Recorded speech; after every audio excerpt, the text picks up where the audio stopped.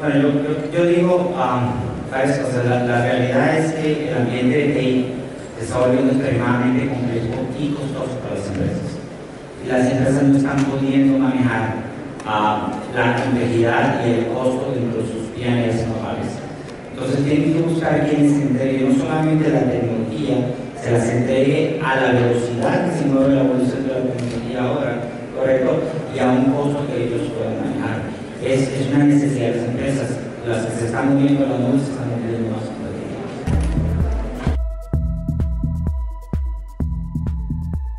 Vemos tendencias en las cuales eh, los mismos gobiernos ¿no? a nivel global están tomando decisiones de poder implementar sus soluciones en la nube y eh, no solo implementarlas, sino ya están llevando al mismo esquema de, de, lo que es el cloud computing. Sin embargo, creo que hay un componente muy importante que día a día va a ir casi que obligando a las empresas a tomar esa decisión de poder hacer esas inversiones del lado del computing.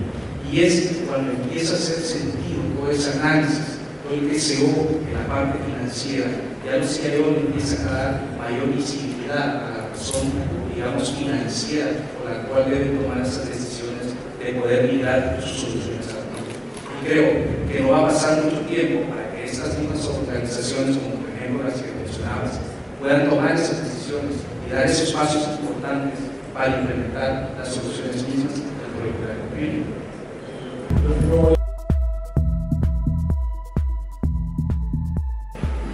La información es cliente. Pues la información no es del proveedor, del proveedor de la compañía. El proveedor de por contrato está alquilando su infraestructura. Todo muy fácil de explicar.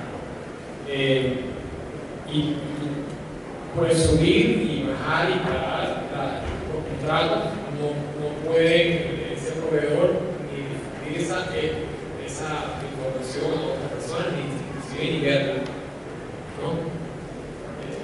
Y ahí es donde también el, el, tipo de cloud, hay que entender qué cloud es que vas a meter, porque si es un cloud que está ofuscado, está dividido, o sea, la información está completamente partida en el pedazo a lo largo de una red de centros de datos a lo largo del mundo, por ejemplo, en donde en realidad la única forma de que pueda juntar esa información es a través de ese de usuario y password, ¿no? o esa administración que tenga el cliente, ni siquiera la tiene el, el proveedor del servicio. ¿no? Entonces, si hay un tema legal, igual eh, yo creo que ya está muy avanzado también, o sea, ya la confianza, eh, eh, ya mucha gente se ha dado pasado a ese devuelve, entonces se ha vendido ese tema sin, sin problema.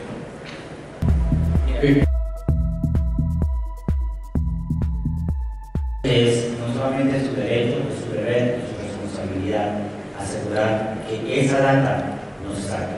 Los acuerdos de confidencialidad son extremadamente importantes, la seriedad de la empresa que usted está trabajando, pero la visibilidad de lo que está pasando con su data. No se confíen a ciegas. Digan, ah, pruebas que nadie va a entrar por login en mamá, en mi machine.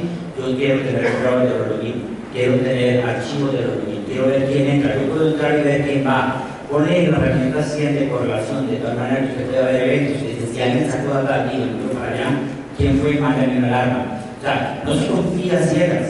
Y lo otro que yo les decía que es fundamental, ojo, porque nosotros como empresa tenemos control hasta un cierto nivel.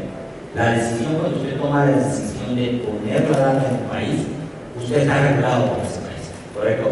Y nosotros como proveedores tenemos limitación de lo que la ley nos permite no hacer. Eh, hay países donde si el gobierno decide que puede entrar la data, te la puede pedir y no se la puede negar, ¿correcto? Entonces tienen que tener cuidado en eso, porque tienen que entender esa ley para poder entender dónde adecuadamente su data puede ir o no, y el riesgo que está corriendo. Porque una cosa es lo que nosotros podemos hacer, otra cosa es lo que usted puede controlar y mirar, y otra cosa es lo que la ley puede